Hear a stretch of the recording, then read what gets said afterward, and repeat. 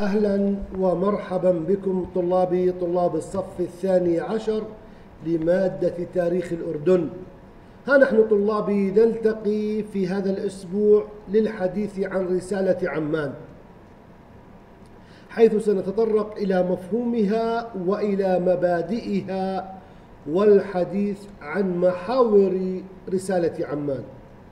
نقول طلابي بأن رسالة عمان شهدت وشيدت في رمضان عام 2004 وهي إطلاق رسالة عالمية نبعث وبعثت من خلالها تعليم القرآن الكريم ووسطيته ومن رؤية الهاشمية النيرة بأن علينا واجبا إنسانيا ومهمة عالمية ينبغي أن يكون وأن نقول بهما خدمة المجتمع الإنساني والدفاع عن الإسلام العظيم ومبادئه.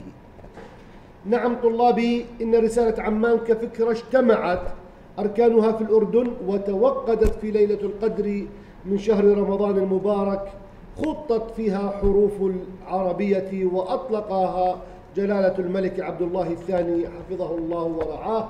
إذ ليقول للعالم إننا إخوة وهذا هو الإسلام الذي يقوم على المحبة والسلام وينبذ العنف والتطرف والإرهاب. أما إذا ما تحدثنا عن محاور رسالة عمان فهي جاءت على ثلاثة محاور. جاءت أولا لوقف تكفير المسلمين بعضهم لبعض بسبب الخلافات العقائدية بينهم واعتراف كل المسلمين ببعضهم البعض ونتيجة لذلك هو توحيد للأمة وبعد ذلك جاءت للحديث عن وقف أو على الأقل تعرية الفواتي والفتاوى الغير صحيحة على أيدي الجهلاء الذين هم غير مؤهلين لذلك والتي تضلل الناس في كل الأنواع والأفكار الخاطئة والمدمرة.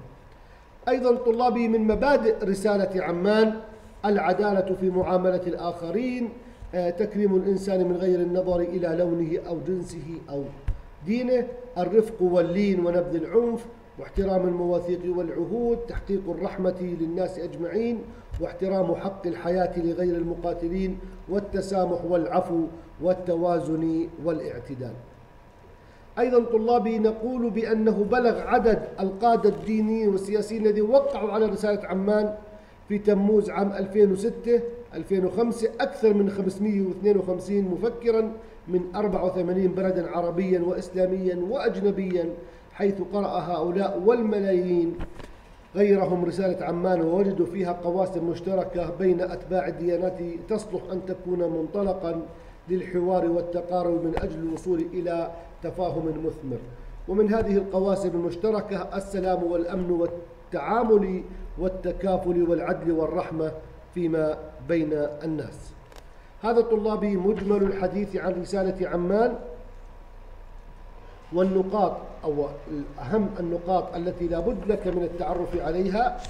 طالب منك الذهاب إلى المنصة التعليمية لحل الأسئلة المطلوبة هناك وأيضا العودة إلى صفحة 90 والإجابة عن الأسئلة الموجودة في هذه الصفحة والتي تختص بعنوان درسنا رسالة عمان بين المفهوم والمبادئ. هذا طلابي مجمل الحديث عن آه، رسالة عمان في وحدتنا الجديدة في فصلنا الدراسي الجديد. إذا كان لديكم أي استفسار بإمكانكم المراجعة من خلال الإيميل أو من خلال الحصة الدراسية. شكرا لكم ودمتم في رعاية الله.